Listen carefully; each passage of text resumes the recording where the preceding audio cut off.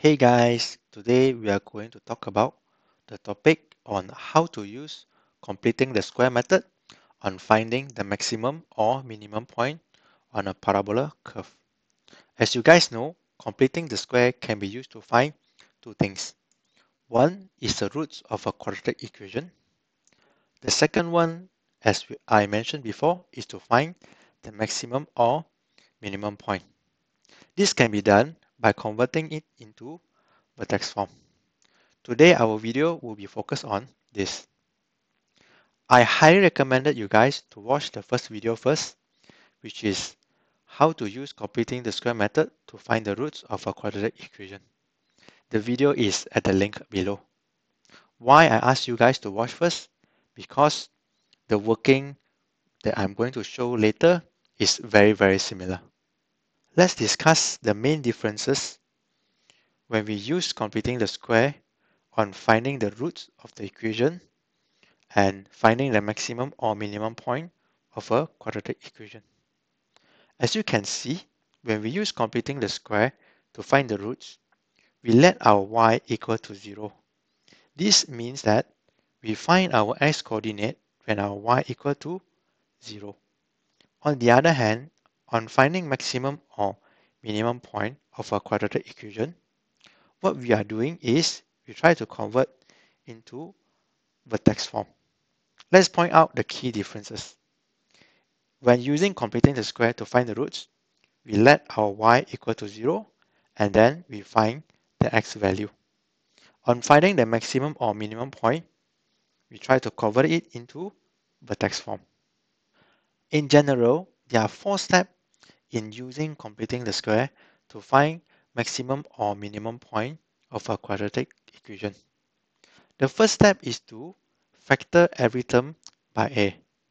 Please take note, this is a step where student always misses.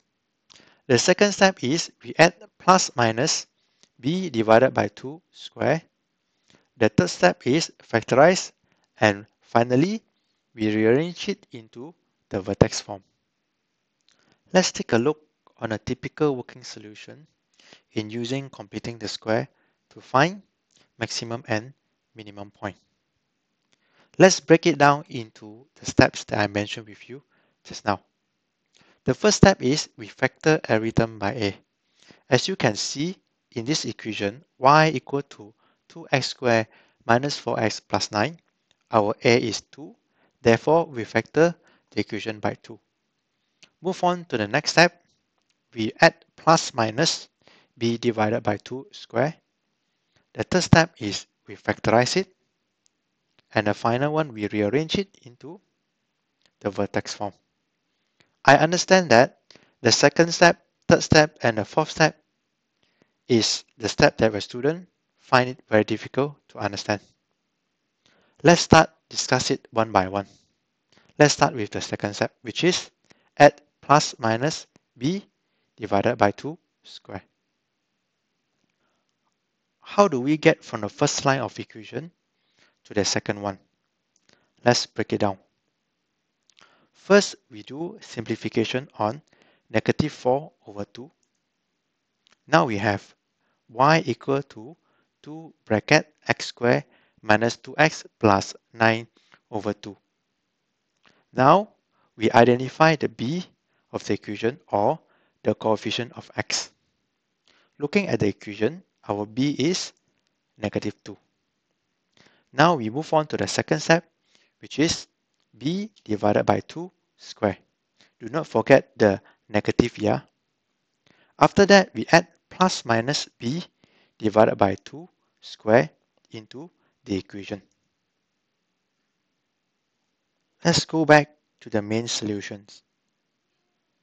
Now we have completed the second step. Let's move on to the third step, which is factorize. How do we get from the first line of equation to the second one? It's very simple.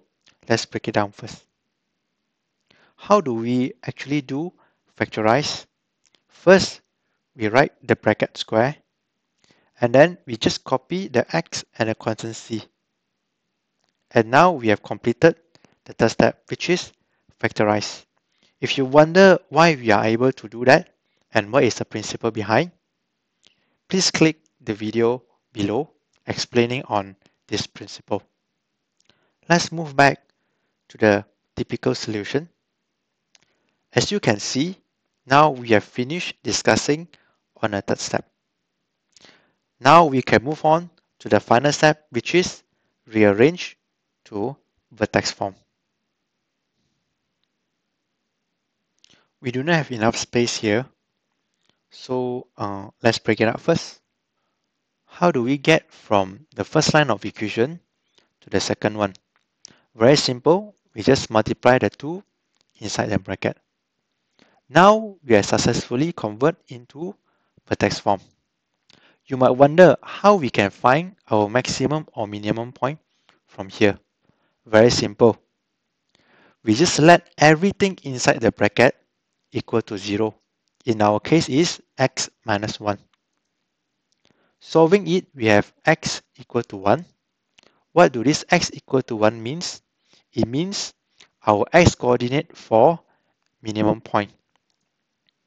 You might wonder how about our y-coordinate for minimum point is this.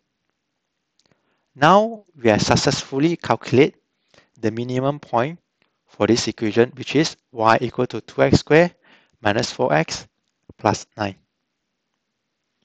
We have go through all the general steps in using completing the square method to find maximum or minimum point of a quadratic equation.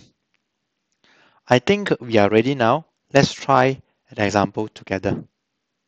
Let's try to find the maximum point for this equation, which is y equal to negative 3x squared minus 6x plus 2. The first step is we factor every term by a. As we know, our a for this equation is negative 3. So let's factor it. And we have y equal to negative 3 bracket x squared minus 6x over negative 3 plus 2 divided by negative 3 bracket. Let's simplify this further. We have y equal to negative 3 bracket x squared plus 2x minus 2 over 3 bracket. Now we can move on to the second step, which is add plus minus b divided by 2 square. Therefore, let's identify the b. The b now we have is 2. And we proceed into b divided by 2 square. In our case it is 2 divided by 2 bracket square. Now we can add this into our equation. We have y equal to negative 3 bracket x square plus 2x plus 2 over 2 bracket square minus 2 over 2 bracket square minus 2 over 3 bracket. Again, let's we simplify it further. We have y equal to negative 3 x square plus 2x plus 1 square minus 1 square minus 2 over 3 bracket. Now we can move on to the third step, which is factorize. So, how do we factorize? Very simple we just write the bracket, we copy the front, we copy the end, and we have x plus 1. To know whether our sign inside is it correct, very simple, we just look at the B sign. If it's positive, inside should be positive.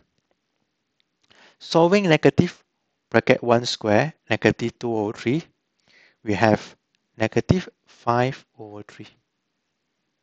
Now let's multiply the negative 3 inside the bracket. And now we have negative 3 x plus 1 bracket square plus 5. Now we have finally convert into vertex form. Let's find the maximum point.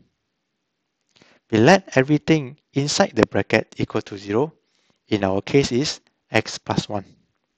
So s plus 1 equal to 0 and we have x equal to negative 1. On the y coordinate, we just copy exactly the end here.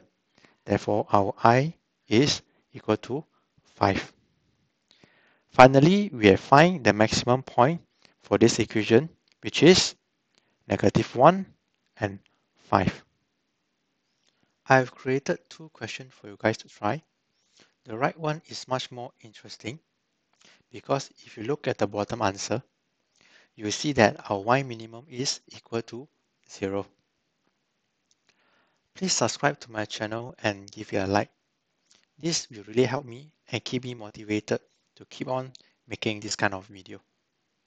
The answer for these two questions is here. If you find this video helpful, please give it a like and subscribe to my channel. Thank you.